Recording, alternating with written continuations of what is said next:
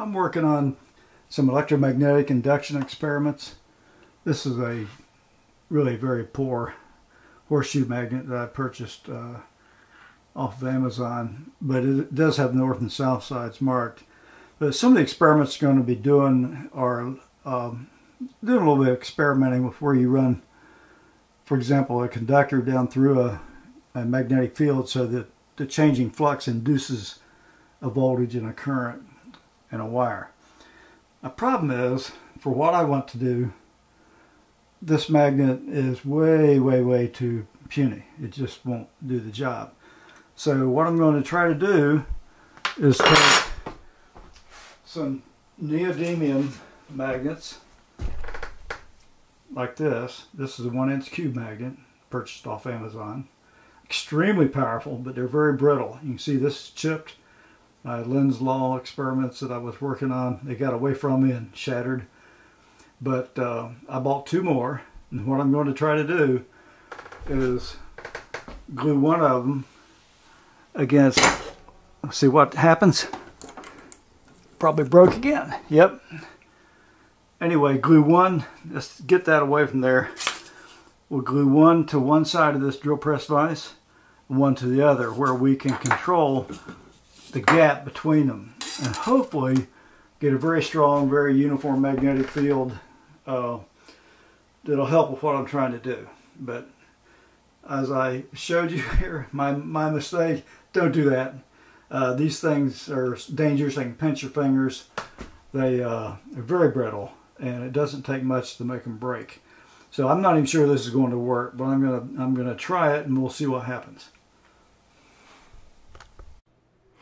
Okay, we've got the uh, one inch cube magnets glued into the drill press vise, and uh, what we did was use uh, Gorilla Glue epoxy and uh, glued uh, one of the magnets to the faceplate there, took it off, unscrewed it, got it on. Then uh, very carefully placed the other one inch uh, cube magnet up against it, but using the uh, that paint uh, stir there as a spacer. Then put Gorilla Glue epoxy on the other end of that uh, second magnet. Then brought the other end of the of the drill press vise close to it and left it there, let it set and cure overnight. Worked pretty good, so it's, it's holding up pretty good. So uh, don't get a compass too close to these powerful magnets. It'll reset the magnetization in it. We're going to use a galvanometer. It's a, a millivolt galvanometer with some enameled 22 gauge copper wire for the rest of this. Okay, I've got a coil wire. Got about five wires running this way. Now we'll get a lot more voltage by passing it through there. But if you'll notice, um, we got our gap now set at about two and three eighths. That's the maximum I can do in this drill press arrangement.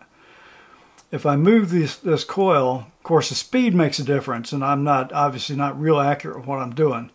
If you go one direction, it goes uh, positive, the other negative, depending on the right hand rule. We're not going to worry about that right now. But if you look at the meter, the galvanometer, when I do this in the middle, I get all it looks like about just a couple of millivolts. Now if I move it closer to one of the magnets, the voltage is greater, indicating a you know non-uniform field in here. Greater intense field through here and here. Of course, if you turn these wires, this loop like this, you don't get much at all because we're not cutting through the lines of force like we would going across them. So you shouldn't get much this way like you do that, that way. It does make a difference. So what we're going to do now is close up that gap and uh, get it down about as close as we can get, maybe an eighth of an inch or so, and still get these wires through there. And that should make a big difference. So let me go ahead and close that up.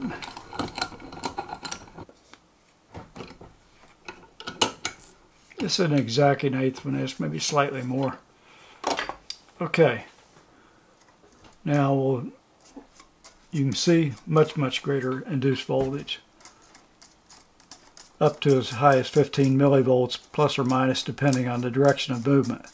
So definitely the field is more intense this way. I doubt that it's a real uniform magnetic field because this is not a perfect situation here. But definitely better than definitely better than trying to use a real weak magnet like this where you get almost nothing.